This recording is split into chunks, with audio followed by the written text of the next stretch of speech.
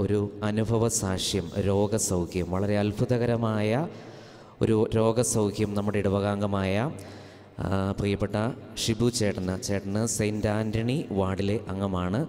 നമ്മൾ കഴിഞ്ഞ ഒരു മാസം മുമ്പ് വാട്സപ്പിലൂടെ നിങ്ങൾ ഈ വിവരം അറിഞ്ഞു കാണും. ഷിബു ചേട്ടന് വലിയ ഒരു രോഗാവസ്ഥയിലായിരുന്നു വലിയൊരു പ്രതിസന്ധിയിലായിരുന്നു.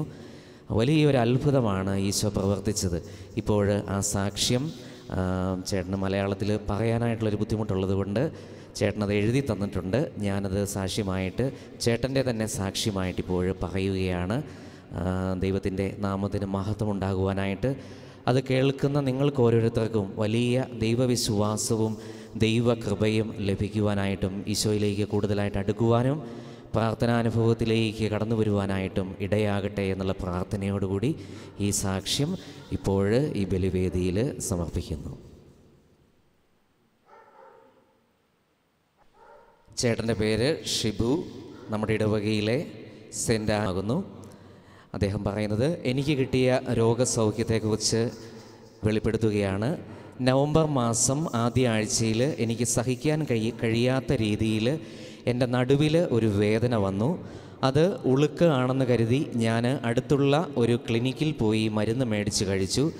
പക്ഷേ വേദന കൂടുകയും പിറ്റേ ദിവസം പിന്നെയും ക്ലിനിക്കിൽ പോവുകയും ഡോക്ടറെ കാണുകയും വേദനയുടെ ഇഞ്ചക്ഷൻ എടുക്കുകയും ചെയ്തു. പക്ഷേ യാതൊരു മാറ്റവും ഉണ്ടായില്ല. അന്നേ ദിവസം രാത്രി എനിക്ക് പനി വരികയും അതിന് മരുന്ന് കഴിക്കുകയും ചെയ്തു. പക്ഷേ പനിയുടെ കൂടെ തന്നെ എനിക്ക് നല്ല രീതിയിൽ ശ്വാ- ശ്വാസ തടസ്സം നേരിട്ടു. അങ്ങനെ നമ്മുടെ ഇടവകയിലുള്ള ഡോക്ടർ ജോൺ അദ്ദേഹത്തെ കാണുകയും ഇ സി ജി എടുക്കുകയും ചെയ്തു. പക്ഷേ ഇ സി ജിയിൽ കുഴപ്പമൊന്നുമില്ല എന്ന് ഡോക്ടർ എന്നോട് പറയുകയും ചെയ്തു. പക്ഷേ എന്തുകൊണ്ട് ആണ് ഇങ്ങനെ ശ്വാസതടസ്സവും നടുവേദനയും വന്നത് എന്ന് അറിയുവാൻ ഡോക്ടർ എന്നോട് അടുത്തുള്ള ഒരു നല്ല ഹോസ്പിറ്റലിൽ ഒന്ന് ചെക്കപ്പ് ചെയ്യാനായിട്ട് പറഞ്ഞു. അങ്ങനെ വേദനയും ഏഹ്, ശ്വാസതടസ്സവും സഹിക്കാൻ കഴിയാത്തത് കാരണം അന്നേ ദിവസം രാത്രി അടുത്തുള്ള എസ് കെ ഹോസ്പിറ്റലിൽ പോവുകയും അവിടെയുള്ളവർ എന്നെ അന്ന് തന്നെ അവിടെ അഡ്മിറ്റ് ചെയ്യുകയും ചികിത്സ നൽകുകയും ചെയ്തു. പക്ഷേ പിറ്റേന്ന് രാവിലെ ആയപ്പോൾ എന്റെ അവസ്ഥ വളരെ മോശമായ നിലയിലാവുകയും ചെയ്തു. അതിനാൽ എന്നെ എന്റെ വീട്ടുകാർ അവിടെ നിന്ന് പ്രക്രിയ ഹോസ്പിറ്റലിൽ കൊണ്ടുവരികയും ചെയ്തു. അവിടെ എത്തുമ്പോഴേക്കും എന്റെ ബി പിയും ഓക്സിജനും വളരെ ലോ ആവുകയും ചെയ്തു. അതിനെ തുടർന്ന് സി ടി സ്കാൻ ചെയ്യുകയും ചെയ്തു. അപ്പോഴാണ് എനിക്ക് എന്താണ് അസുഖമെന്നറിയുന്നത്. എനിക്ക് കിഡ്നിയിലും ബ്ലാഡറിലും ഇൻഫെക്ഷൻ ആണെന്ന് അറിഞ്ഞു. അപ്പോൾ അപ്പോൾ തന്നെ എന്നെ ഐ സി യുവിൽ ആക്കുകയും അതിനുശേഷം എന്റെ രണ്ട് കിഡ്നിയിലും സ്റ്റഡ് ഇടുകയും ടെമ്പററി ഡയാലിസിസ് ചെയ്യുകയും ചെയ്തു. പക്ഷേ അവസ്ഥ വളരെ ഗുരുതരമാവുകയും എന്നെ വെന്റിലേറ്ററിലേക്ക് മാറ്റുകയും ചെയ്തു. എന്റെ അവസ്ഥ വളരെ ഗുരുതരമാവുകയും നാൽപ്പ നാൽപ്പത്തിയെട്ട് മണിക്കൂർ കഴിയുന്നതുവരെ ഡോക്ടേഴ്സിന് ഒന്നു തന്നെ ചെയ്യുവാൻ കഴിയുകയില്ല എന്നും അതുവരെ യാതൊരു പ്രതീക്ഷയും ഇപ്പോൾ തരില്ല എന്നും അവർ പറയുകയുണ്ടായി. പക്ഷേ നാൽപ്പത്തിയെട്ട് മണിക്കൂർ കഴിഞ്ഞിട്ടും എന്റെ അവസ്ഥയ്ക്ക് യാതൊരു പ്രതീക്ഷയും കണ്ടില്ല.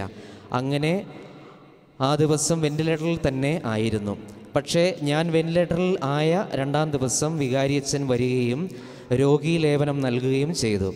എന്റെ അവസ്ഥ ഡോക്ടർ പോലും ഒന്നും പറയാത്ത സമയത്ത് വികാരിയച്ഛൻ വന്ന് എന്നെ കണ്ട് പറയുകയുണ്ടായി. നാളെ ഈ സമയം എനിക്ക് നല്ല രീതിയിൽ വ്യത്യാസം ഉണ്ടാകും എന്ന് പറഞ്ഞു.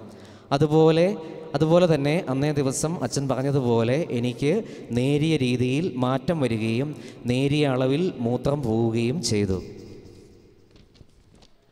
പക്ഷേ ഈ നേരിയ രീതിയിൽ നിന്നും നല്ല രീതിയിൽ മൂത്രം പോയാലേ ഡോക്ടർക്ക് അടുത്ത ചികിത്സ ചെയ്യുവാൻ കഴിയുകയുള്ളൂ.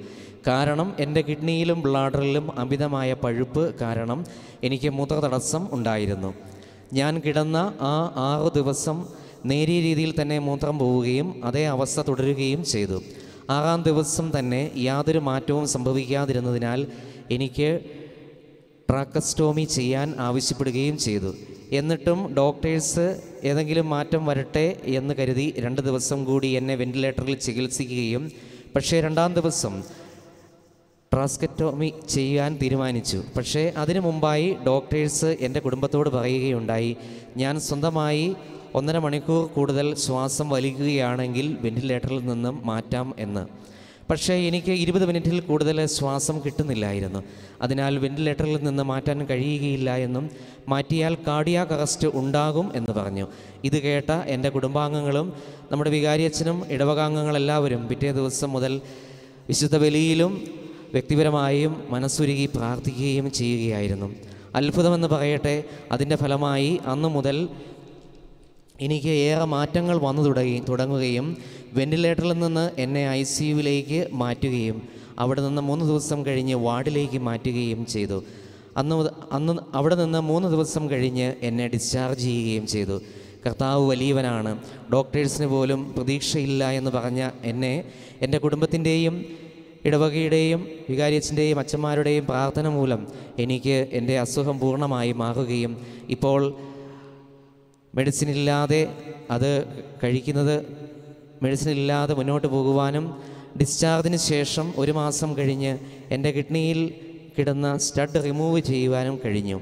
ഇപ്പോൾ എനിക്ക് യാതൊരു ബുദ്ധിമുട്ടോ വേദനകളോ കിഡ്നി സംബന്ധമായ രോഗമോ ഇല്ല. കർത്താവിന് നന്ദി.